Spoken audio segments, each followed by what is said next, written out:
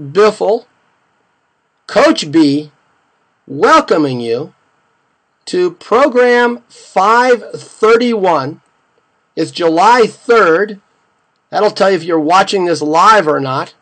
And as always, an amazing, wonderful, energetic, and entirely free broadcast for you tonight. We'll be talking about our writing system. I'm adjusting my screen right here, tightening it up, bringing it into clear focus. Red green marker writing. And here's the controversial question Is red green marker writing the world's simplest? There's the 3D effect, my friend. The world's simplest and most powerful writing system. I'm going to answer that question, cards on the table, before the end of the broadcast. But let's talk about whole brain teaching. Check it out.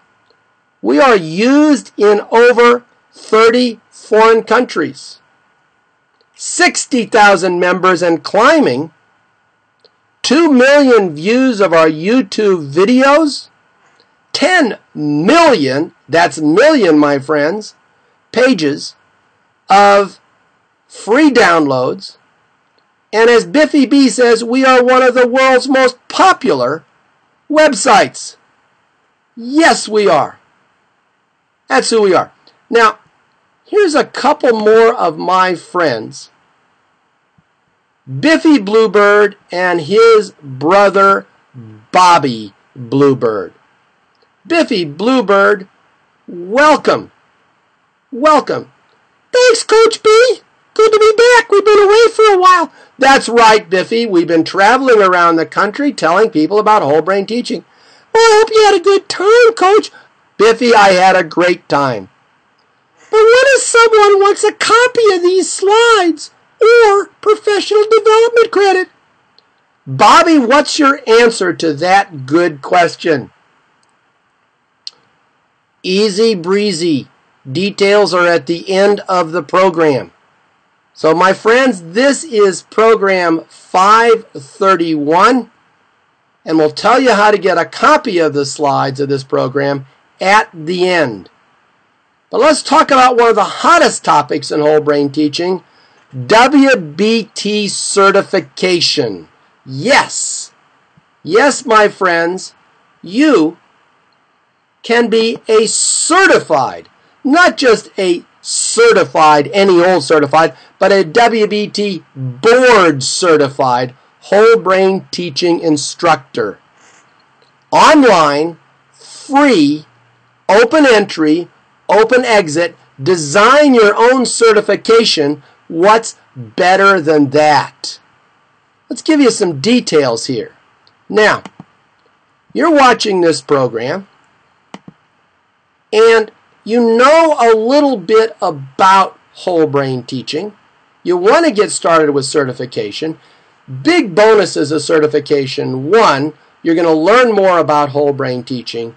Two, you're going to join an elite group, and it is an elite group of dedicated teachers who are out really to change the world of education. Three, once you achieve certification as an instructor, Nancy Stoltenberg, our director of WBT certification, sends you an award and a detailed letter of recommendation that can become part of your professional resume. And you know what? There are principals out there looking for WBT certified teachers. Let's look at this screen. Now, the question for tonight what are the strengths and weaknesses of whole brain teaching's red green marker writing system? Post your answer on the forum at wholebrainteaching.com under the topic which I've just created. Post your answer there you write a good answer, you get 50 certification points. Gotta be have college level literacy. You could get even more points for an outstanding answer. Let's look and see where you'd be posting these certification essays. Here I am on the home page. I'm scrolling down and I'm coming over right here on the forum, my friends. WBT certification webcast, red green writing. That's where you'd post your little essay and start to climb the ladder towards WBT certification. Little bit more about certification. Here's the deal. It takes about 750 points 700 points to be a board certified instructor. and you can move up to be a board certified mentor, district presenter, regional presenter, national presenter, international presenter. Arlie Online, Southern Teacher, they're climbing the ladder towards board certification. If you have questions, just put them on the forum at wholebrainteaching.com. Now let's get on to the program, the reason why so many of you are here tonight. It's JJ Jive, one of our favorite instructors. What's the scamma jamma on red green marker writing? JJ Jive, good to have you here. Good to be here, coach. But tell us about this amazing writing program. I will, JJ, but I've got someone else here who has a question. This is one of my dear friends, Mrs. Connerly. What's the problem with how I teach writing now? That's the question. What is the problem with how we're teaching writing now? I'll open it up to my online crew. People online now, tell me, what are the problems you're seeing with how you're teaching writing now? I'm going to drink some California Clear right here.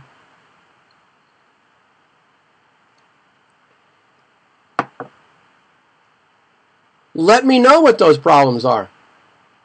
Motivation, says elementary matters.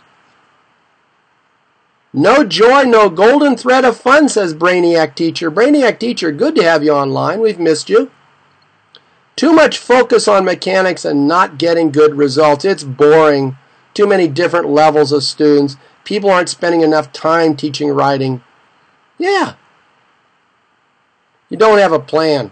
Let me show you what Biffy Bluebird says the problem is with teaching writing.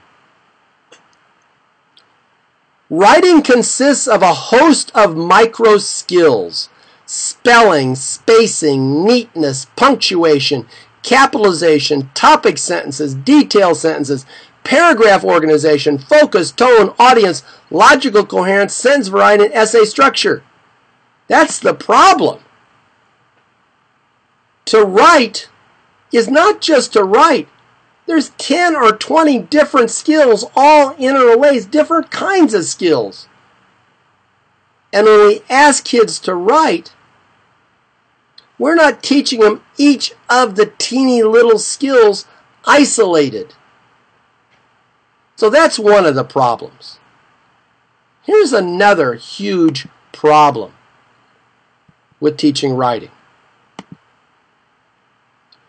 As Biffy Bluebird says, we're trying to teach too many skills at the same time. This would be like showing students a basketball court, explaining the rules of the game, demonstrating all the basketball skills, and saying, now go play and don't make any mistakes. We're looking at a sports analogy here. You pick the sport, it doesn't matter. Any sport that is coached by a high level coach will take all the skills in the sport and break them down into small little steps. In basketball, you learn to dribble right handed, you learn to dribble left handed, you learn to jump shoot. You learn the defensive position. You learn how to play zone. You learn how to play man to man. You learn the inbound plays. You learn how to pass.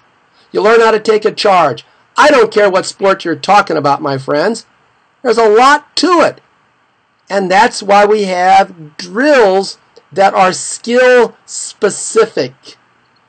My friends, you understand what I'm saying? Skill specific writing drills.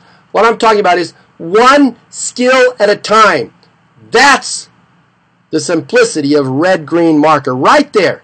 Let's just practice one little skill at a time. Let's see what Biffy Bluebird has to say.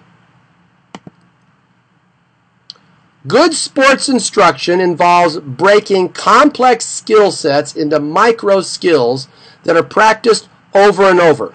Basketball practice or tennis practice involves much more than simply playing the game. So now here's our friend Mrs. Connerly. Okay, I get it, but how should I start? Ponzi, you're right. That is one smart bird. Biffy Bluebird's coming back at you, my friends. Not so fast. The other huge problem with teaching writing is that student mistakes are not corrected when they happen. Students get papers proofread by teachers 24 hours later, if that soon. My friends, be honest with me. It's just me and you, teachers, in the trenches. Don't you dread reading student papers? Wouldn't you rather eat sawdust with a big spoon than read and proofread student papers? Because you read them, you're literate, and the mistakes just keep coming at you. It's as if you're in the ocean, like the Irish hero Cuchulainn. Look him up who fought the waves with a sword until it broke his poor heart. The waves of student writing pouring at you week after week, year after year, the same mistakes. Can listen to me, my friends. I'm putting on my hat just to take it off. I'm taking off my glasses. This is a big point. It isn't you that needs to learn how to proofread, my friends. It's your kids that need to learn how to proofread. You show them all the mistakes 24 hours later, and you know what? They'll make them again. Yes. Do you know what? Are you are you with me on that? Think about this. Think about what's wrong with how we teach writing. It would be like a basketball coach saying, hey, you made mistakes yesterday with your dribbling, shooting, passing, defense, rebounding, inbounding, stance, and playmaking. Don't do it again. You mark the papers up, five or ten different kind of marks, and you say, oh, that happened 24 hours ago. Look at this and don't do it again. That's not how we teach. Think about how we teach dance. My daughter was intensely involved in dance, in ballet for a while, so beautiful. The ballet instructor would show her exactly how to put her arm, how to set her feet, each little thing corrected in the moment of performance. That's when we need to fix the writing. We need to fix it as they are writing. So here's the two big problems. One, I just talked about. I said, we need to fix writing as the kids are doing the writing. And two, we need to take the host of micro skills and teach them one at a time. Can I get an oh yeah from my online audience? Is it making sense to you, my friends? I'm taking a shot of California Clear. I am just too excited. I have to calm down.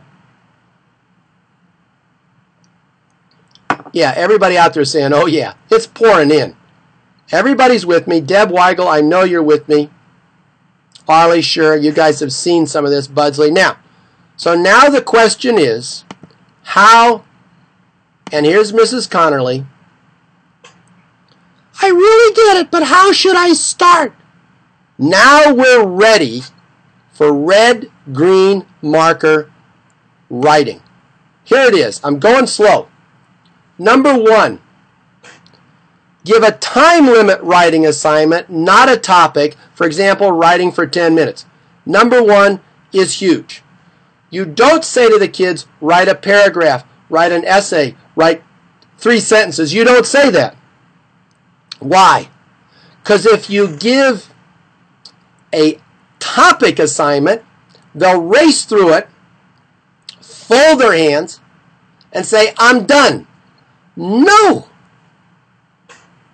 You give a writing assignment for a time. We're writing for 10 minutes. Kindergarten, we're writing for five minutes. High school, we're writing for 20 minutes here, my friends. You put the topics on the board. Be sure you got plenty of topics that they can never be finished in the time limit. But number one, write for a certain amount of time. That'll solve some problems right there. Can I get some more? Oh, yes, from my online audience. I just want to check to see if you guys are really following me on this. That's right. Oh, yeah. I got an oh, yeah. All right. Good, my friends. Now, here's point number two. Focus initially on one skill. I'll tell you what skill to start with in a second. You're going to walk around the student desks. You're going to mark less perfect skills with a red marker and more perfect skills with a green marker. Two marks per page, one red, one green. Ask students to verbally respond okay or thanks. All right. Here we go, my friends. This is, here are my markers. This is a red marker, this is a green marker. This is all you need. You're going to tell them to write, and you're going to walk around, and you're looking at their papers. When you see a bad example of the skill, put a red mark on it. When you see a good example of the skill, put a green mark on it. Then be sure they respond to you. Don't let them diss you with silence. They're going to say, okay or thanks. Dot, dot, go on to the next page. Are you with me now? As they're writing, focused on one skill, you're looking and you're marking. Red, not such a good job of that skill. Green, oh yeah. Red dot, green dot. You're right, Deb Weigel. Now, what should we be marking? Check it out. JJ Jive. Well, what skills should I start with, Coach B? I'm going to tell you. Let me tell you a little story about one of the greatest coaches ever. He brought his outstanding basketball players into the locker room, and the first thing he taught them was how to pull on their socks. So if we're going to teach writing, let's start at the very, very beginning.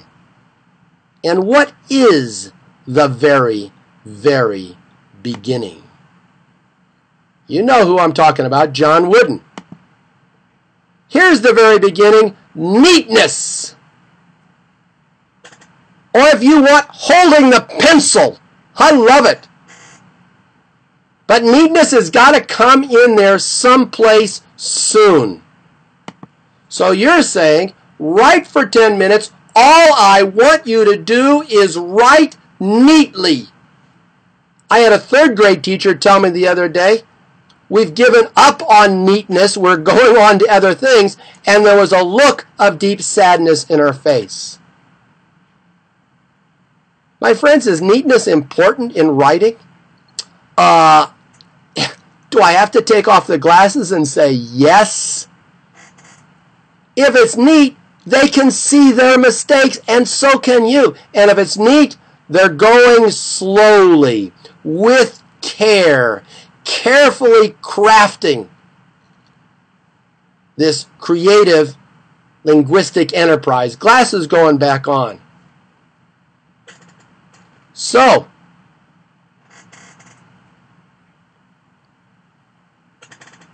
I hope we're back online.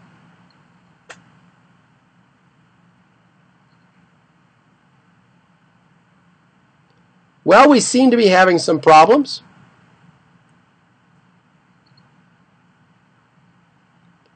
All right, my friends. Thank you so much. So let's get back to the issue. Neatness is number one. Then let's go on to capitalization. You know, my friends, I'm going to. We seem to have some problems here.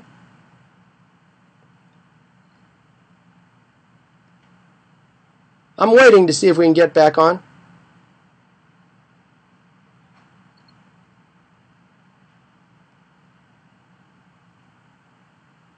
All right, my friends. All right. All right, I think we're back. Everybody good. Pause and play. Here we go. Wonderful. So, I didn't add anything new. Let's just look at neatness as number one. Neatness number one, just have the kids write neatly. Go around and you see the logic of this. Red mark by the kids' messy word, green mark by their neatest word. Here's the beauty of red marker, green marker. You're not judging the kid in terms of a hypothetical example of what neatness is. You're judging them in terms of what they're doing now. That's individuated writing instruction for each and every kid. Some kids are very neat. Make them neater. Some kids are not so neat. Mark their neatest word and say, give me more words like this. Personal bests. That's what we're talking about. Now let's look at the rest of the list.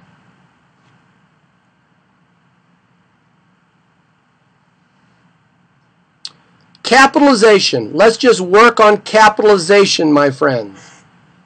Let's work on end marks. Let's work on word spacing. Let's work on indenting.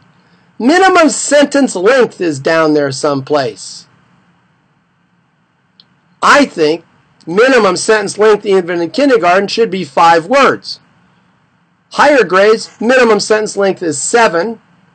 Maximum sentence length, I don't think kids even in high school should write sentences that are longer than 15 words. And I'd say 7 to 12 words will get you through will get you through elementary school.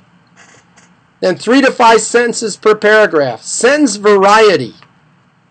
Let's just talk about a few of these. So here's the idea. You pick one skill, you focus on it, the kid can have success because you're just evaluating them in terms of that one skill. If you're doing capitalization, then you're going to mark the neatest capital and the messiest capital. Are you with me? We don't want no bowling ball periods. We don't want no teeny tiny periods. We want a period that's exactly right. We don't want words squashed together. And we don't want words too far apart. We want some indenting, but not too much one finger worth. One thing at a time. Let's just get the basics down. Give them some success. No hearts over the I. Let's have one on just dotting your I. You know what I'm saying? Do we get the name in the right place? Now, here, my friends, Here's the deal. If we can just get 1 through 8, 1 through 8 here, we've made a huge advance. And those are skills that every kid can learn. Now let's talk about something more sophisticated. Sentence variety. Would you please make this the law of your school? This will do more to improve the quality of writing than anything else. Look at, look at me. Two sentences in a row can never start with the same word. Just insist on that, and the writing goes up, whoop, a whole level. Yes, my friends. Now, let's keep going. I can tell from your online comments that you're digging where this is going. Now let's let's go on to some more advanced skills. Every sentence must have one adjective wiggly underlined. Now notice when we get to two sentences in a row cannot start with the same word. We're not talking about form anymore. We've shifted to content. And then every sentence has got to have an adjective in it. Do that until you've got too many adjectives. And put a wiggly line under that adjective. Let's talk about one of the toughest things to teach. Toughest things to teach topic sentences. Let me tell you about topic sentences. I'm a college teacher. Here's the weird thing any sentence can be a topic sentence. I went to school the other day and played tetherball. I'm a big fan of John Wooden. Give me a sentence, it can be a topic sentence. The key is what makes it a topic sentence is that you've got target word or words. The other sentences must hit those target words. So, kids write topic sentences and put a box around the target word or words. That tells them everything else must be about that target. Then, the sentences after have to have arrow words connecting to the target. Let's look at this. Every, number 11, every topic sentence. Now, what about slow writers who take forever? Well, you know what? If you have a slow writer who takes forever, then you tell that person, I want you to pick up your speed. You know what? I'll be back around and I want to see you down here by the time I get around. You can individualize this. But if you have a slow writer who takes forever and they're writing neatly, you can individualize this however you wish. Let's go back to this. Topic sentences and detail sentences. Here's what I say 11 and 12. 11 and 12. Topic and detail sentence. I say when you're focused on the one skill of topic sentences, you have a topic sentence with a box, detail sentence, detail sentence. There's arrows that go from the arrow words to the target word, physically drawing there. And then you look at it and you see, yes, that you've got the target words. Yes, those detail sentences contain arrow words. That's all we're thinking about today, folks. Topic sentences, three sentence paragraphs, 10 minutes, topic and arrow words. Now let's talk about real sophistication. Number 13, every sentence must contain an appositive or a prepositional phrase or a conjunction or a complex sentence or a compound sentence or a compound complex sentence. Just figure out what the next level of sophistication is. Once you're down here six, eight, ten weeks, then you're down to the skill of writing more complex sentences. Show them what a prepositional phrase is, and all the sentences after the topic sentence should have a prepositional phrase. Show them what an appositive is. I'm big on appositives. Every sentence must have a noun, and an appositive is a phrase that adds information to the noun. I am a big fan of John Wooden, quote, comma, one of the greatest basketball coaches of all time. One of the greatest basketball coaches of all time is the appositive that gives us more information about John Wooden. You get your kids writing appositives, you're going to blow the state standard writing test out of the water. So that's how we can go from neatness to sophisticated writing. Here's Mrs. Connerly again. So just one skill at a time? Not quite, Mrs. Connerly. Pay attention, my friends. Here's Biffy Bluebird. Start with one skill, then introduce a new skill, then ask students to focus on the first two skills, then introduce a third skill, then focus on all three skills, and so forth. Here's the deal. Let's just work on neatness today. And next day, neatness, neatness, neatness, neatness, neatness. We're talking about a year long writing system. All right, now, I want neatness and capital, and no, we did neatness. Don't worry about that. Keep it neat, but now just work on capitalization. Work on your capitalization, neat capitals. Neatness for a week, capitalization for a week, 10 minutes of writing. And then come back and say, let's work on neatness and capitalization. You see how you scaffold it? One skill at a time. Whenever you introduce a new skill, that's the skill of focus. Don't add it into this list. Once they have the skill of focus down as well as they can, then add in the other skills. And oral writing, which there is a whole video on, will help this whole process a lot. All right, my friends, I feel the excitement out there.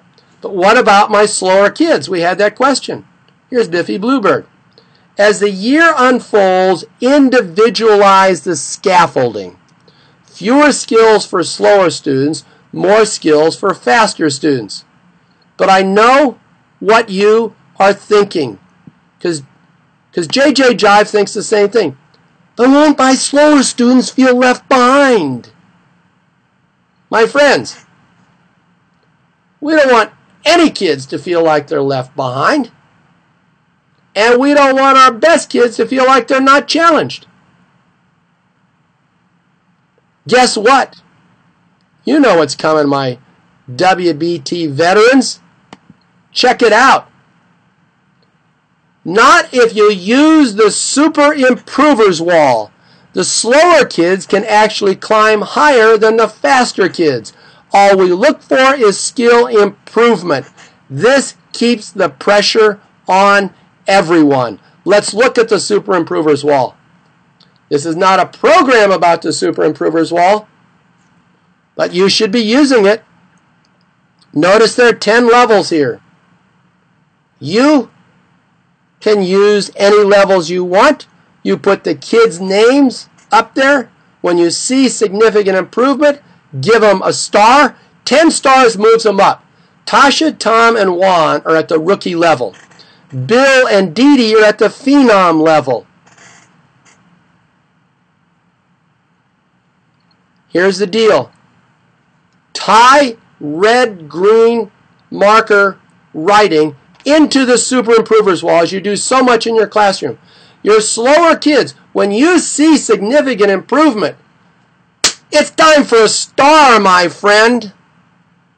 So the slower kids never feel slower. Because the challenge is less for these kids, they can move up faster because what we're looking for is not academic ability, au contraire. Taking the glasses off. We're not rewarding for academic ability. Is that shocking to you? Kids come in smart and they get A's and they start loafing. Kids come in low, they don't do well, they fade out. They should get no credit for academic ability, at least in some part of their education, but they should get credit for effort and improvement. When I am the czar of U.S. education, which I think is going to happen soon, every report card in America is going to have a little insert where the kids are graded for degree of improvement.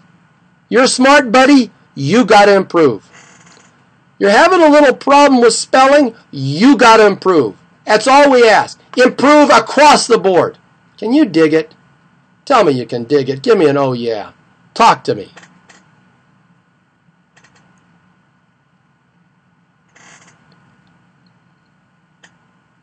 Yes, my friends, we're all on the same page.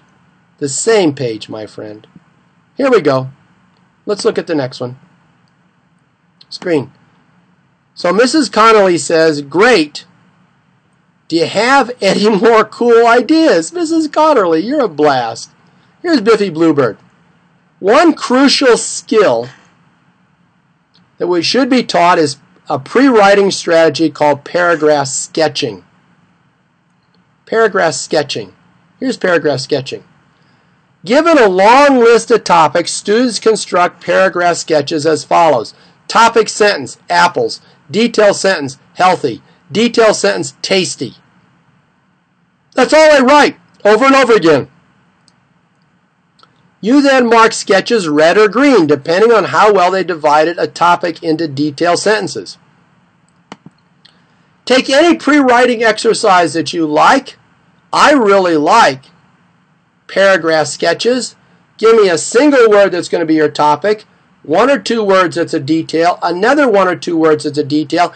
Be sure those two details are different, but related to the topic. That's tough and then I'm going to go around and I'm going to mark with red. I'm really usually looking not at the topic sentence, I'm looking at the two detail sentences. Is each word different enough but connected?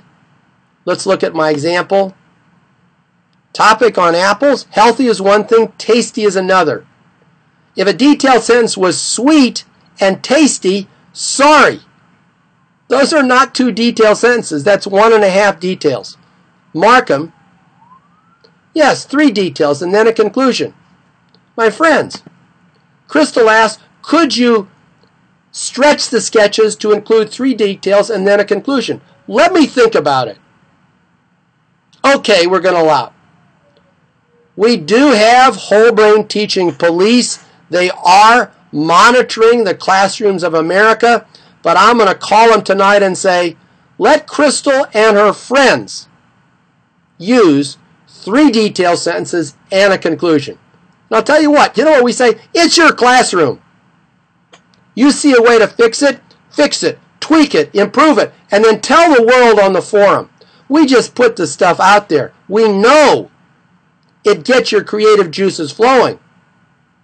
This particular technique I stole from Angela Macias, Dr. Angela Macias on our executive board. She came up with the idea. I'm tweaking it. You'll make it even better. Aussie teacher, I'm glad that you're giggling out there. Now, let's look at a little more complex. Longer paragraph sketches. Topic sentence apples, detail sentence healthy, micro detail avoid the doctor. Detail sentence tasty, micro detail sweet. You get the idea?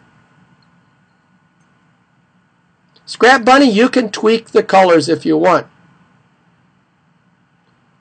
Goonie Girl, yes, you tell the kids it's right there on the board. This is the skill I'm looking for. Show them what they're trying to do. You'll get more success and they'll be happier. No more hide the ball, guess what I want. I'll tell you what I want. I want neat capitals. That's what I want. Or, I just want you to focus on making the periods the right size. Or, I want you to be sure no sentence is shorter than five words. Or, I want you to look at those sentences and be sure Two sentences in a row don't start with the same word. Brainiac teacher, you're so right. As you often are. Here's our next screen. Are there any other writing skills students could practice with red green marker? Here's a bunch of them, my friends. You're probably going to want these slides tonight. More red green marker 10 minute skills. Students neatly write as many adjective noun combinations as possible. Could you use red green marker writing and just have them write adjective noun, adjective noun, adjective noun? Are adjectives important to you? They're important to me. Is writing an adjective noun combination a micro skill that needs lots of repetitions? Hmm, I think it is a micro skill. Have them write adjective noun combinations for five minutes. And then every sentence must have an adjective and a noun. Neatly, of course. Students neatly write as many three sentence paragraphs as possible. Topic sentence followed by two detail sentences. Students neatly write as many complex sentences as possible on any topic, or compound, or compound complex. Write as many sentences as you can using vocabulary words. And here's the humdinger. My friends, I should have said at the start of the broadcast, do not be standing up when you're watching this program because I am not responsible. Our insurance does not cover injuries that are caused when you faint from delight. Here's a fainting moment. Number five. Watch me. Students mark their own or a neighbor's paper with red and green marks. Give me a, oh, yeah, baby. Yes. Give each kid a red and green marker and let them start marking up the papers. Can they dig it? Aren't you glad you're sitting down? You see how this goes into self evaluation, peer writing. Just mark one item at a time. And any kid can do this. But what about five paragraph college essays? What about five paragraph college essays? Folks, here's the deal. I said at the start of the show I would tell you, cards on the table, is red green marker writing the world's simplest and most powerful writing system? My answer is no hedging. My answer is yes and no. Yes, I think it's the simplest writing system because it just involves red and green marks one item at a time. That'll get the simplest. But to get your kids to those five paragraph college style essays, you need something else. Let me just have a drink here while I think about what else you might need. What if there was something called the writing game that took students from the simplest writing skills to five paragraph essays? What if there's something like that? Well, my friends, there is something like that, and it's on next week the writing game. If you link red green marker writing with the writing game, then you may just have the world's simplest and most powerful writing system. Anybody out there going to be tuning in next week to see if I can back that one up? The writing game. Five paragraph essays and more advanced and also simpler techniques will be covered in the next broadcast. And I'll tell you what we might do. We might just do this. You know, I might be in Ohio next week. I don't know. But whenever the next broadcast is, we might even include, sitting down, we might even include, as part of the writing game, a student proofreading module so that the papers would come to you already proofread. Can you dig that? Do you think we might include in that student proofreading module micro proofreading skills? Are you with me? Are you with me there? Are you tuned in to my brain vibes? I bet you are. So, you know what? I think maybe next week I'm in Ohio. Let's just talk a little bit about certification. There are the 10 certification levels. You're looking to try to get to 700 certification points. You get certification by writing about anything to do with whole brain teaching. Let's let's go online. Let's look right here, my friends. There is a certification webcast. There are two certification webcasts WBT orientation, WBT certification, and all about certification right here in this PDF. It doesn't look like a PDF, but if you click right there, you can page through it. If you go up here, you can click on it and download it. We'd love to see more people joining us to become WBT certified, earning that letter recommendation that will be part of that will be part of your professional resume. Southern teacher is getting close. Ollie's moving up. What could you write about? Write about anything that has to do with whole brain teaching. Look at all the stuff you can write about. College level literacy, my friends. Please read the PDF. It's online, free, at your own pace. Set your own goals. And not only that, we have some cool medallions you can win. Look at those cool medallions. You do a good job, and we'll send you an electronic, 100% digital medallion. Yes, my friends. Southern teachers up to 820 certification points. She'll be running her own university before long. So for more detailed information, go to scribd.com or just click on that PDF. But let's wrap this up, my friends. Great broadcast tonight. I loved your response. Ms. Linenthal says, Gosh, red green marker writing sounds great, but how could I get professional development credit for this broadcast and a copy of these slides? Thank you, Miss Linenthal. Glad to hear you're getting over your cold. Uh, you're right, Coach. You should have heard me last week.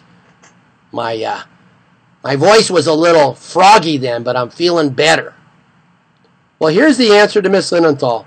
Go to wholebrainteaching.com, click on PayPal, and donate $5.31. 531 is a code number for this program.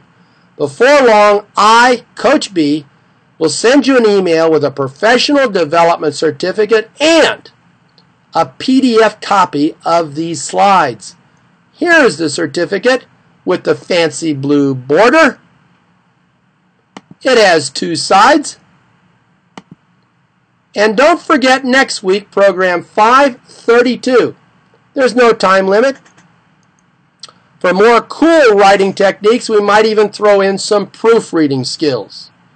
And my friends, if you want a whole brain teaching conference in your area and you don't have one, it's your fault. You have been too nice to your administrators. Get those administrators in a headlock. Give them a real hard Dutch rub. Get them to send me an email at chrisbiffle at wholebrainteaching.com. Now, here's the special news for tonight, my friends. Let us go to our customized, customized Facebook page where you can find you can find grade level Facebook pages. Go down here. Right here, under Sunday's link, you'll see 13 people, many of whom have created grade book Facebook pages. Here's Jill Armstrong. She's online tonight. She's created a Facebook page for high school teachers. Grade 9. Oh my goodness. Let's click on all the comments.